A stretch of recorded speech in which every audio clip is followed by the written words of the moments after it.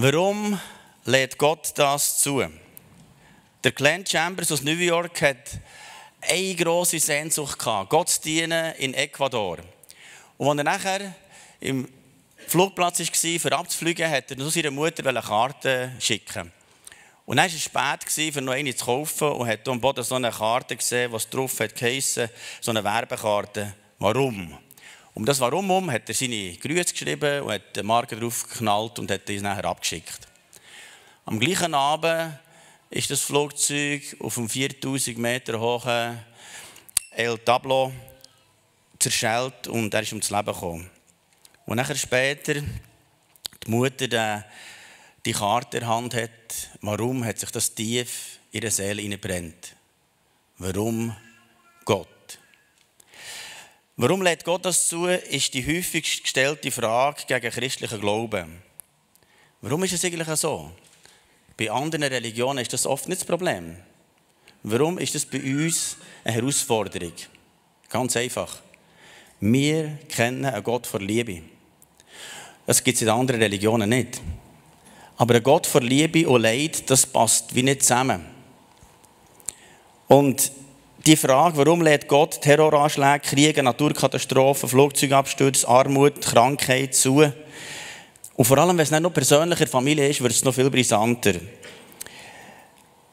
Die Frage, warum lädt Gott Leid zu, ist ganz schwierig zu beantworten. Und Theologen haben so ein bisschen vier Einsichten gefunden zu diesem Thema. Das erste ist, Gott hat den Menschen freien Willen gegeben. Wir lesen in 1. Mose 1, 27, Gott schuf den Menschen als sein Ebenbild. Folgendessen hat Gott ohne freien Willen uns gegeben. Also wir haben einen freien Willen von Gott bekommen.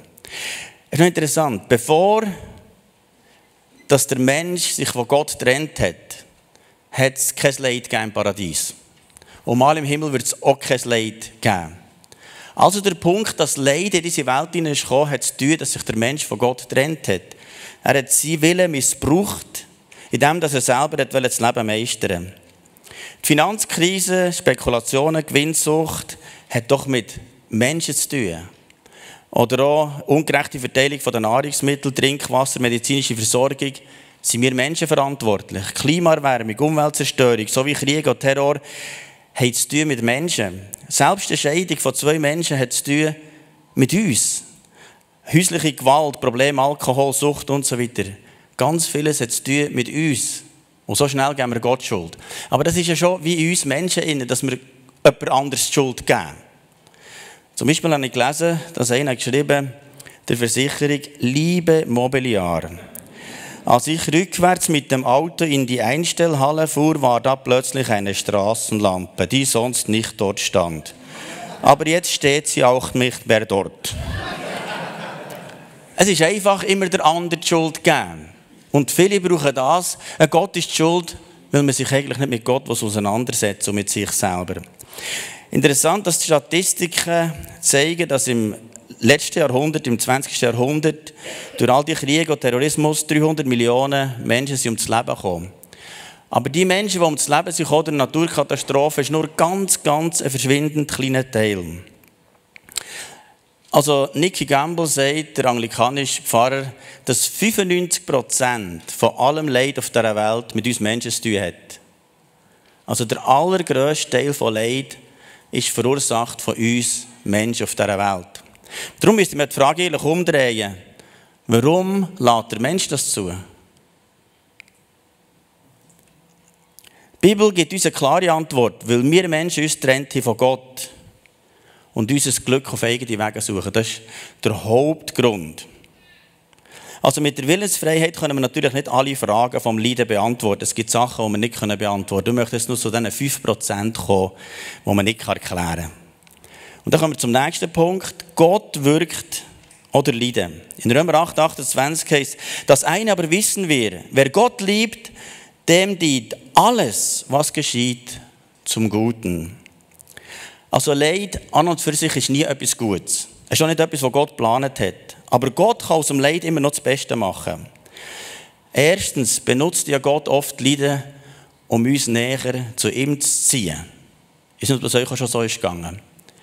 Also wer könnte sagen, dass durch Notsituationen, durch schwierige Situationen, durch Leiden, dass er durch das näher zu Gott ist gekommen? Wer könnte das eigentlich bekennen?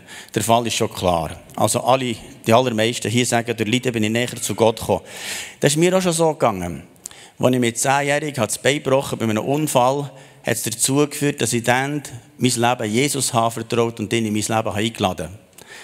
Nachher, zehn Jahre später, hatte ich einen Strüberunfall. Und dort äh, ich vier Monate außer Gefecht. Gewesen. Und in dem Moment hat mich Gott wie gefragt, ob ich mein ganzes Leben ihm zur Verfügung stelle und ihm würde ganz dienen. Und da ist etwas passiert in meinem Leben. Ich bin auch bereit zu dem. Zehn Jahre später hatte ich einen Burnout, als ich im Spital war, ziemlich schlechtes Weg. Und in dem Moment hat es mir eine neue Offenbarung gegeben von Gott. Dass ich Gott nicht aus Leistung dienen muss, sondern aus Gnade. Das war eine der grössten Begegnungen, die ich in meinem Leben hatte. Dann wieder zehn Jahre später hatte ich wieder einen gehabt beim Klettern. Da war schon wieder vier Monate alt. Und dann habe ich eine immense Offenbarung bekommen, was nach dem Leben kommt. Das Leben mit Gott oder eben, eben getrennt von Gott. Ich hoffe, es wiederholt sich nicht wieder in zehn Jahren. Aber es gibt Leute, die wie manchmal ein bisschen ähm, schwerhörig sind. Weißt, Gott flüstert, wenn es uns gut geht. Aber er braucht das Megafon, wenn es irgendwie eine Notsituation gibt. Und bei mir hat er oft den Vorschlag haben, er braucht für etwas zu sagen. Aber ich hoffe, euch ging es anders. Ein anderer Bereich ist, Gott benutzt oft Leiden, um uns sicher auch Sachen zu lehren, um uns reifer zu machen. Es heißt von Jesus im Hebräer 5, Vers 8, doch musste auch Jesus, der Sohn Gottes, durch sein Leiden Gehorsam lernen. Es ist interessant, dass es sogar von Jesus heißt, dass durch Leiden hat er etwas lernen Und durch Leiden passiert etwas in uns. Wir werden das auch mehr verstehen, wer Gott ist. Ich weiß noch, wir unterwegs waren nach England vor vielen Jahren, für dort Englisch zu lernen, weil Gott hat uns gesagt, wir werden das brauchen in unserem Dienst. Und heute ist es ja so, wo ich in verschiedenen anderen Ländern auch diene, brauche ich nicht Englisch. Und wir sind unterwegs und es hat gestürmt. Ich sage, das ist schon einmal auf dem Schiff nach Galedover, das hat gemacht, das Gefühl, wir kommen kaum mehr an. Und als wir dort nachher so einem Bed and Breakfast übernachtet, hat meine Frau das zweite Kind verloren. Und ich kann dir sagen, in dem Moment ist für mich eine Welt zusammengebrochen. Ich sagte, Gott, jetzt haben wir doch dir folgen, dir dienen, warum jetzt das? Und ich war da im Wohnzimmer innen am Klagen und habe gesagt, Gott, warum? Dann meine Frau aus dem Badzimmer rausgerufen, Markus, hör auf. Gott ist ein guter Gott. Und Gott macht nie Fehler. Stell dir vor, das Kind ist vielleicht behindert oder irgendetwas. Gott macht es perfekt. Wir geben dem Kind einen Namen. Wir werden es im Himmel wieder sehen. Und wir haben einen Abschied genommen von diesem Kind und wir haben Tamara gesagt. Und ich weiß, im Himmel werden wir mal unsere Tamara wieder sehen, wenn wir oben ankommen. Ich weiß es. Aber Gott hat mich dann getestet, ob ich ihm die Schuld gebe oder nicht. Und ich habe etwas gelernt, gib Gott nie die Schuld. Weil der hast du immer verloren. Der Petrus sagt ja da so im ersten Kapitel, Vers 6, darüber freut euch von ganzem Herzen, dass wir dann mal bei ihm dürfen sein. Auch wenn ihr jetzt noch für eine kurze Zeit auf manche Proben gestellt werdet und viel leiden müsst. Das gehört offenbar zum Leben hier auf dieser Welt, dass es auch Leiden gibt. Ihr versteht mich ja, ich bin ein positiver Preacher. Also ich, ich bin einer, der für Heilung glaubt, für, für das Wirken von Gott, für all das. Aber ich bin genug lang mit Gott unterwegs, dass ich muss sagen, es gibt auch Zeiten, wo es durch Leiden geht. Ganz ehrlich. Und wir es noch so gut meinen, aber es gibt Zeiten, wo du Gott nicht verstehst. Es gibt Zeiten, wo du fragst, Gott, wo bist du? Und du hörst noch nichts, du siehst noch nichts, du spürst nichts, aber du gehst gleich durch. Und so Phasen gibt es. Ob wir das wollen oder nicht, das können wir noch so probieren, religiös zu verändern. Einer der stärksten Heilungsprediger im letzten Jahrhundert, Swiss Michaels Wors, hat gesagt, grosser Glaube ist das Ergebnis großer Kämpfe. Gewaltige Zeugnisse sind die Folgen großer Prüfungen. Großartige Siege gibt es nur nach schweren Anfechtungen. Weißt, Gott macht immer das Beste für uns. Das dürfen wir nun mal wissen. Also der zweite Punkt ist, Gott wirkt durch Leiden. Und jetzt kommen wir zum dritten Punkt. Gott entschädigt uns reichlich für unser Leiden. Eine der krassesten Geschichten der Bibel ist die von Hiob. Das ist das älteste Buch, das erste Buch, das geschrieben wurde. Und bei Hiob ist es so, der hat keine Gemeinde gehabt, er darüber reden konnte. Er hatte keine Bibel gehabt, er hatte gar nichts gehabt, außer seine Gottesbeziehung. Und offenbar ist das zuerst etwas im Himmel abgegangen, bevor das er hat krass müssen leiden Weil er ist der reichste Mann im Orient. Und dann lesen wir im ersten Kapitel, Vers 6, eines Tages versammelten sich die Engel im Himmel und traten vor den Herrn, unter ihnen auch der Satan. Ich kann nur fragen, was macht er da oben? Offenbar hat er ähm, ja, mal ein Psychli machen Auf jeden Fall hat Gott gefragt, ja, wo bist du gerade gewesen? Hat er gesagt, ich bin durch die ganze Welt gegangen, überall geschaut, was bei diesen Menschen passiert. Dann hat Gott gesagt, hast du Hiob gesehen? Es gibt keinen, der mir vertraut wie er. Es gibt keinen, der so lebt wie er. Hat Hiob gesagt, ja, kein Problem, weißt, du beschützt ihn. Solange er beschützt ist, dann kann, dann kann dich loben und dich preisen, dir Opfer bringen jeden Tag. Und der hat super. Dann hat der Satan einen Vorschlag gemacht, Gott. Wir lesen im Vers 11. Versuch es doch einmal und lass Hiob Hab und Gut verlieren. Dann wird er dich ganz sicher vor allen Leuten verfluchen. Und ich kann mir vorstellen, dass Gott in dem Moment denkt, jetzt schauen wir ein Exempel statuieren für den Satan und für alle Engelswelt. Was passiert, wenn er alles verliert? Mir vorstellen, dass die Engel von oben nachher geschaut was passiert jetzt? Und dass auf der anderen Seite die Dämonen haben geschaut und der Satan hat geschaut, was passiert jetzt? Und an einem Tag hat der Hiob sein ganzes Vermögen verloren. Alles, tutti quanti seine Herden, alles zusammen. Was er hat verloren am gleichen Tag, zehn Kinder, die sie ums Leben kommen. Er hat alles verloren. Am nächsten Tag hat er noch seine Gesundheit verloren. Der ganze Körper von zoberst bis zunderst war voll von furchtbaren Geschwüren. Ich kann mir vorstellen, wie er Gott hat angebetet und plötzlich merkt, seine Hand ist voll von Geschwüren. Der ganze Körper hat sich mit Scherben angefangen die Wunden kratzen, weil er so hat gelitten, hat nicht mehr liegen, nicht mehr aufstehen, gelitten wie verrückt. Und in dieser Situation kann ich mir vorstellen, dass der Engel gesagt gib nicht Gott Schuld, gib nicht Gott Schuld. Auf der anderen Seite hat der Satan gesagt, ja, ja, Gott hat es gemacht, gut, du Gott verurteilen. Und der Mann hat gesagt, du Gott verurteilen. Und das ganze Universum hat zugeschaut, wie ein Moment der Hiob seine Kleider zerreißt. Und der Satan sagt, yes, yes, yes, genau jetzt ist der Moment. Und der Engel hat oh, hilft dem Hiob, dass er kein Seich macht. Und dann hat Hiob angefangen, und es hat tönt die ganze Sphäre im Universum. Wie er im Vers 21 heißt, der Herr hat es gegeben. Der Herr hat es genommen. Und der Satan sagt, ja, ja, der Herr hat es genommen, der Herr hat es genommen, jetzt kannst du mir gerade Schuld geben. Und alles war still. Und er hat es tönt. Gelobt sei der Name des Herrn. Und in dem Moment ein Juchz im Himmel. Die Engel haben von Gott loben und gesagt, ja, gelobt sei der Name des Herrn. Und es heisst, in all dem versündigt sich Hiob nicht. Nicht mit einem Wort. Er hat nie Gott Schuld gegeben, nicht mit einem Wort. Und das ist ein Unterschied zwischen uns und den Engeln. Die Engel, die diese geschaffen wurden, hat Gott sie gemacht. Und das Erste, wenn die die Augen auftun, haben die Gott gesehen. Und ich wow! Dann sie gesagt, Halleluja, preis dem Herrn, Lob und Dank. Und seitdem sind die permanent dran, Gott am Ehren. Heilig bist du einzigartig, gewaltig. Und Gott zeigt nur eine andere Seite von sich. Und das hört nie auf. Sie merken, wow, das ist ja gewaltig. Und Ehren ihn permanent im Himmel. In der Umgebung von Frieden, von Freude, von Herrlichkeit. Aber das hier ist es ganz anders. Und es ist bei uns Menschen ganz, ganz anders, verstehst du? Wir haben Gott noch nie gesehen. Dass du Gott ehrst, ist ein absolutes Wunder. Du hast ihn noch gar nie gesehen. Und wenn es dir noch verschissen geht und dann noch Gott erst, dann ist das noch viel ein grösseres Wunder. Und du weißt, Gott schaut vom Himmel nach, gibt es Menschen auf dieser Welt, die ihn ehren, trotz der schwierigen Situationen. Damit die Engel sehen, da gibt es Leute, die Gott ehren, auch wenn sie noch Gott nie gesehen wenn sie in schwierigen Situationen gehen, wenn sie Gott nicht verstehen und dann Gott ehren. Und weißt, das ist die höchste Qualität, die es gibt auf dieser Welt. Und du bist einer von denen, der zu dem Gott gehört, den du ihn schon persönlich kennst und Gott erst trotz allen Leiden, trotz allen Schwierigkeiten. Und das macht einen riesen Unterschied. Aber der Teufel hat noch einen nächsten Joker gehabt. Er hat gewusst, die Frau vom Hiob, die hat gerade zehn Kinder verloren. Zehn Kinder, die sie auf die Welt gebracht Zehn Kinder, die sie großgezogen Die, die sie hat ihre Brust gehabt, die Kinder, die sie geliebt hat, die sie alles hat, macht sie einfach weg. Zu dem, was ich aufs Bankkonto gehen für abheben, für wieder etwas zu kaufen, zu essen, ist einfach leer. Jetzt nicht mehr. Nicht mehr. Nicht mehr zu essen. Nichts mehr.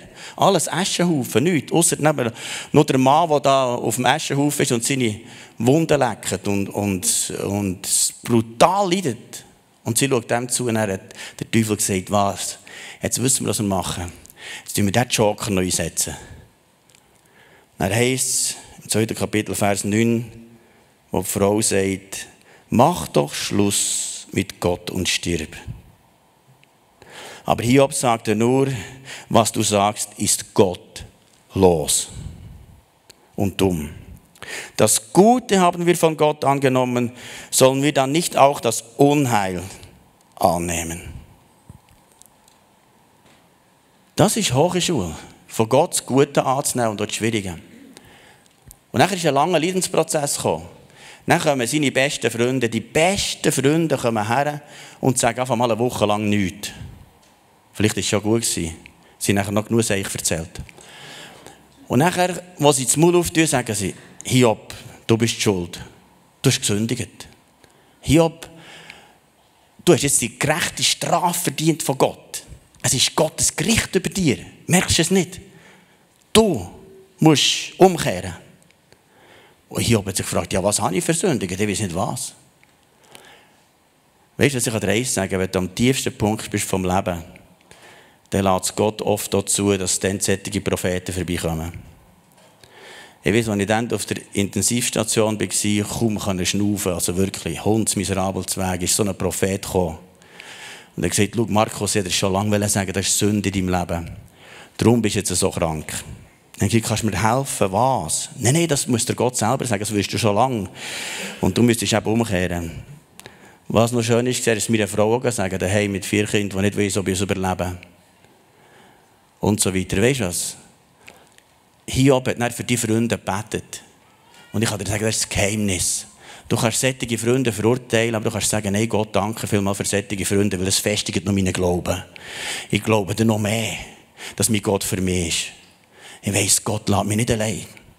Und wenn ich ihn nicht spüre, nicht fühle, es hat eine Zeit gegeben, wo ich Gott nicht gespürt, nicht gefühlt Nein, in dieser Zeit noch an einen pensionierten Pastor angerufen und gesagt, du, jetzt drehe ich alle langsam durch, jetzt können die Leute mir sagen, was ich alles für Sünden habe gemacht, aber ich weiß nichts von dem.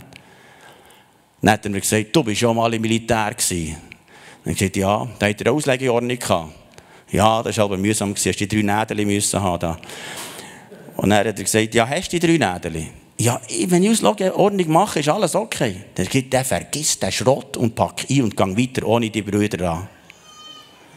Manchmal brauchst du so Leute, die mal sagen, du, jetzt hört es auf da. Schau, Gott hat nachher dem Hiob ein riesiges Geschenk gemacht. Nachdem, dass die da hin und her diskutiert, plötzlich hat sich der Himmel geöffnet und wir lesen im 42. Kapitel, Vers 5, Herr, ich kannte dich nur vom Hören sagen, aber jetzt habe ich dich mit meinen Augen gesehen. Und was ich schon oft erlebt habe in den Leiden, merkst du bei den Menschen etwas so von einem Himmelsglanz. Die, die mit Gott unterwegs sind.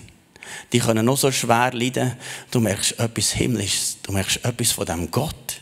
Es ist wie der Himmel würde die Erde berühren. Und das ist dem Hiob passiert. Und er hat gesagt, ja, Gott begegnet. Und nachher heisst es ja, Hiob ist gesegnet worden. Nach dem Leiden. Und von Gott belohnt worden. Wir lesen im 12. Vers. Der Herr segnete Hiob von jetzt an mehr als zuvor. Bald besaß er 14.000 Schafe und Ziegen, 6.000 Kamele, könnte ich sagen, etwa Porsches, 10, 110, nochmal. Der Herr segnete Hiob von jetzt an mehr als zuvor. Bald besaß er 14.000 Schafe und Ziegen, 6.000 Kamele, tausend Rindergespanne und tausend Esel. Er bekam auch wieder sieben Söhne und drei Töchter. Im ganzen Land gab es keine schöneren Frauen als Hiobs Töchter. Natürlich super, im Orient du richtige Mist. Hiob lebt noch 140 Jahre. Er sah Kinder und Enkelkinder bis in die vierte Generation. Schließlich starb er im hohen Alter nach einem reich und erfüllten Leben. Nicht immer ist Belohnung schon hier auf Erde. Aber die Belohnung wird nicht warten. Du wirst einmal belohnt werden im Himmel verleiden. Ganz sicher. Im Römer, im 8. Kapitel, Vers 18 heißt ich bin ganz sicher, sagt der Paulus, dass alles, was wir derzeit erleiden, nichts ist verglichen mit der Herrlichkeit, die Gott uns einmal schenken möchte. Es gibt eine Belohnung für Leiden. Egal wie du leidest auf dieser Welt, es gibt im Himmel einmal eine immense Belohnung für das. Und weißt du was? Das ist eine Langzeitvision. Und es gibt einmal eine leidensfreie Zone im Himmel. Wenn du Jesus in deinem Herzen hast, dann weißt du, das ist nur temporär hier auf dieser Welt. Aber es gibt einen Moment, wo Jesus selber dir wird alle Tränen abwischen, wo kein Leid mehr wird sein, kein Schrei mehr, keine Not mehr, nichts mehr, nur ewige Freude. Das ist das, was Gott verheißt hat für die, die ihm nachfolgen. Und das ist nicht ein billiger Trost. Und jetzt kommen wir zum letzten Punkt. Gott nimmt Anteil an unserem Leiden. Im 1. Petrus 4, Vers 13 heißt Freut euch vielmehr darüber, dass ihr mit Christus leidet.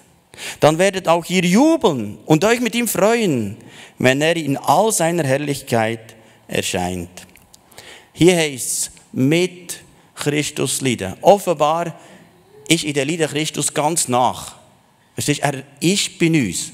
Und dann haben wir das Gefühl, hey Gott, du bist weiter weg, aber in der Leiden ist er ganz nach. Und das Gefühl, hey Gott, jetzt, jetzt hast du mich ganz verlassen. Er hat versprochen, ich bin jeden Tag bei euch bis ans Weltende. Und in der Leiden ist er ganz nach. Ob du es fühlst oder nicht. Manchmal musst du nur am Wort Gottes festhalten und sagen, Gott, ich weiß, du bist ganz nach, ich spüre dich nicht, ich fühle dich nicht. Jetzt das Gefühl, du bist weiter weg, aber er ist ganz nach und das ist nun mal die Wahrheit mit Christus leiden. Und ich bin überzeugt, die Leute, die der Leiden gehen, ist Jesus ganz nach. Mit ihm. Und ich glaube, das ist der schönste Punkt von allen. Dass Jesus Anteil nimmt an unserem Leiden. Das weltberühmte Theater The Long Silence beschreibt, dass am Ende der Zeit Milliarden von Menschen vor dem Thron Gottes sind. Und vorne sind ganz viele in Ehrfurcht vor Gott. Aber weiter hinter gibt es so Gruppen von Menschen, die sagen, der Gott, der hat keine Ahnung, was wir hier macht auf der Welt. Der hat keine Ahnung von Leiden. Wie will er uns richten? Und dann bilden sich so Gruppen. Eine zieht der Ärmel auf und zeigt die Tätowierung, die sie im Nazi-Konzentrationslager hat erlebt, die Nummer. Und dann hat sie gesagt, schau, man hat mich gefoltert, man hat mich plagt und zuletzt bin ich umgebracht worden. Der Gott hat keine Ahnung, nur weil ich Jüdin war. Ein anderer, ein Schwarzer, hat der ganze Rücken total vergeiselt gehabt, weil er ein Sklave war. Und zuletzt noch Striemen am Hals, weil er erhängt wurde. Nur als Sklave war. Und so geht es weiter. Erzählen ganz viele von ihren schwierigen Erlebnissen auf dieser Welt. Und die Gruppen tun sich zusammen und sagen, wir führen jeweils einen Anführer führen, der vorher uns verteidigen und sagen, Gott hat keine Ahnung, was uns passiert ist. Der Gott weiß nicht, was Leiden ist. Dann gehen sie führen und dann machen sie sich zusammen eins, dass sie sagen, Gott, wenn du eine Ahnung hast von Leiden, dann müsstest du als Jude geboren werden. Weil es gibt kein Volk auf dieser Welt, das so leiden müssen wie die Juden. Nachher müsstest du nach der Geburt als Asylant müssen fliehen.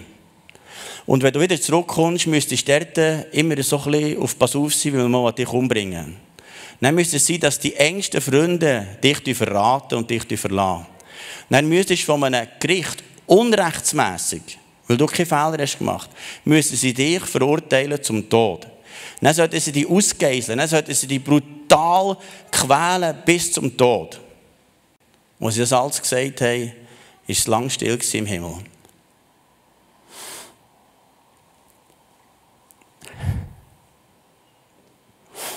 Und dann plötzlich sehen sie Jesus, der Sohn Gottes. Dann haben sie gemerkt, Gott weiß, was Leiden heisst. Es heißt im Jesaja 53, 4, er litt die Schmerzen, das ist auf Jesus bezogen, die wir hätten ertragen müssen. Doch er wurde blutig geschlagen, weil wir Gott die Treue gebrochen hatten. Wegen unserer Sünden wurde er durchbohrt. Er wurde für uns bestraft. Und wir, wir haben nun Frieden mit Gott durch seine Wunden sind wir geheilt.